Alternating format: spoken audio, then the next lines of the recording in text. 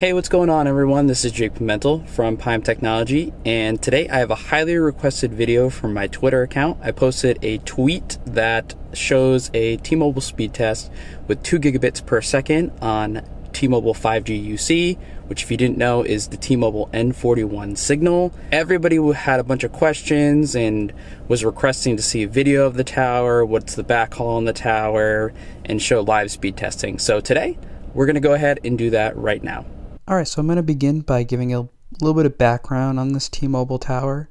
So this T-Mobile tower was actually just turned on uh, about two to three weeks ago. Previously in this area right here, there was pretty much little to no T-Mobile service. So this was a new co-location for T-Mobile. This is a pretty rural area.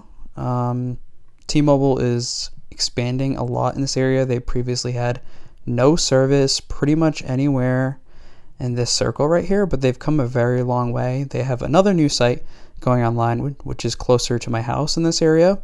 And um, when that goes live, I'll be sure to do coverage on that as well.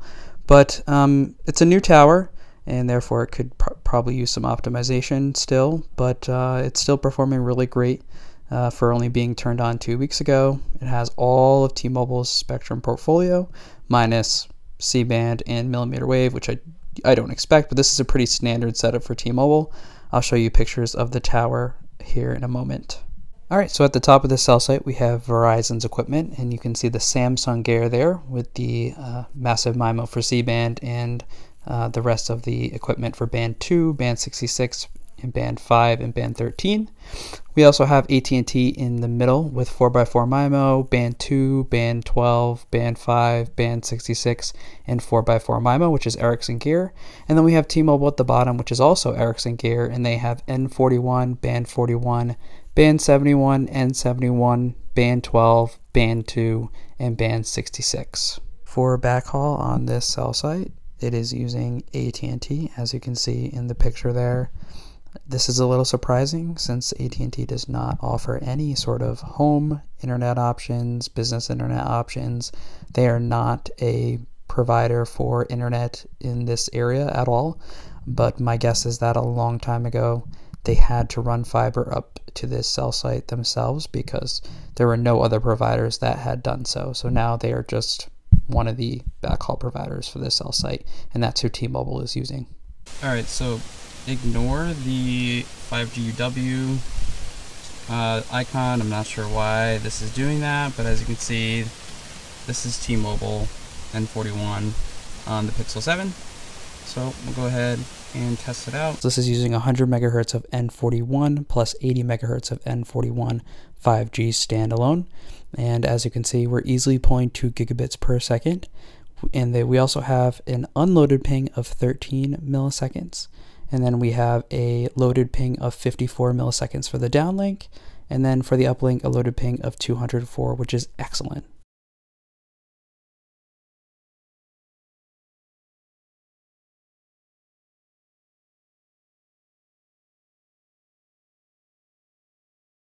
So I'm sure you all are probably wondering, I'm going to show you Verizon and AT&T's speed here as well. They're all on the same exact cell site as you can see. So here's Verizon. Um, the site is fully upgraded. They just have not activated any of the equipment yet, um, or the new upgrades. So it's just band 13 only.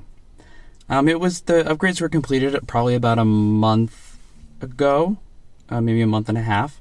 So I expect them to turn that on sometime within uh, the next few weeks here or month. But um, as you can see, they really need to turn these upgrades on very soon because the downlink is getting busy. And this is still 7:49 in the morning. So Verizon definitely needs to light these upgrades up as soon as possible. But once they do, I'm sure the site will perform great for them. So here's AT&T. There is no actual 5G Plus here, I don't think. Uh, I think the phone is just uh, the iPhone has an issue, like the Google Pixel does, as you could see. Uh, has an issue where the icon gets stuck. Um, but AT&T has band 2, band 66, band 12, and band 14 with uh, 4x4 MIMO on here, so it's performing pretty well. Uh, there's also N5 at 10 megahertz, so you can see that uplink is really good. because of that N5. So AT&T performs great here. All right, so one of the critiques that many people who do network testing get is that you're too close to the tower while you're standing right in front of it. I mean, most people don't stand in front of the tower, and that is very, very true. So today I'm going to show you a couple of different, uh, actually two different spots away from the tower. So this first one is about one and a half miles from the cell site that gets two gigabits per second. And as you can see, the signal on the phone's about negative 105, which is about which is pretty much two bars on any other phone besides Samsung phones, which for some reason like to show four bars instead of two bars. So it's like not the strongest signal, but not the worst signal ever.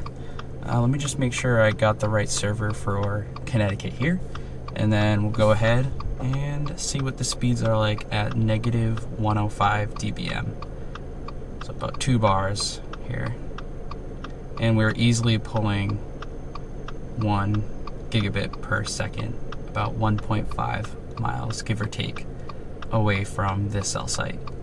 So that's just incredible. It looks like it actually switched back to non-standalone, but as you can see, the signal is still about negative 106. And then we also have band 2 at 20 megahertz and band 66 at 20 megahertz as well.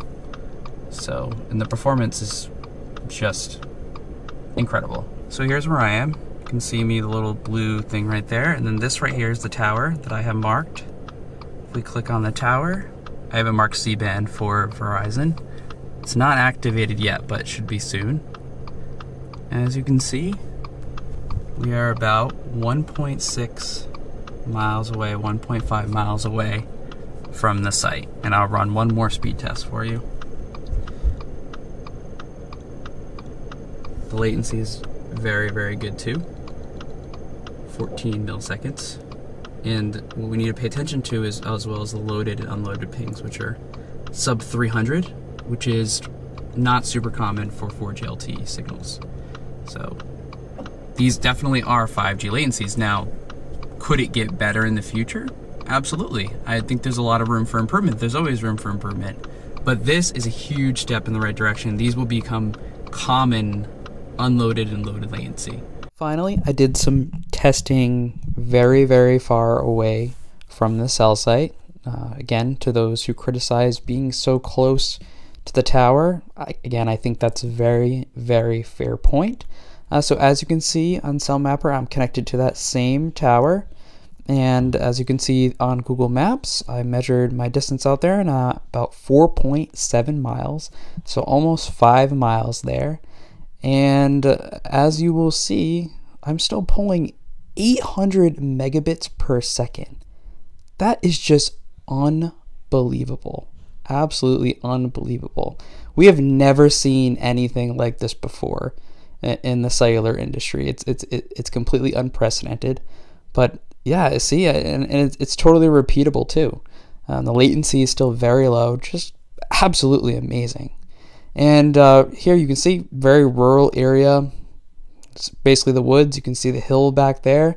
That's where the cell tower is. But yeah, pretty crazy. Still pulling 800 megabits per second, four miles away. All right, so that's going to be a wrap to this video. I hope you guys enjoyed seeing those two gigabit per second speeds.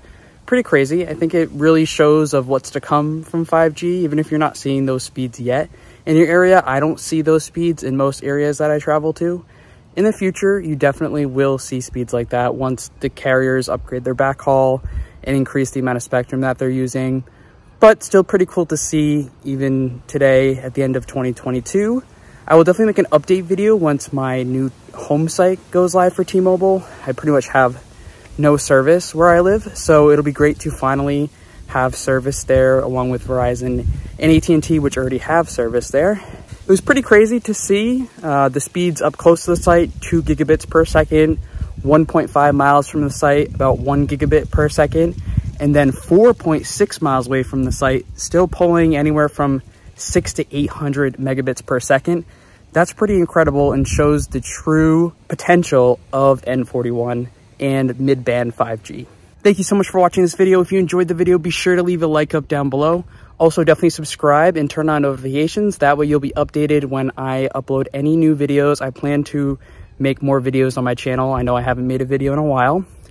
Uh, but yeah, that's going to be a wrap for this video. Hope you guys have a great day. Smile because you and technology are amazing. And peace out.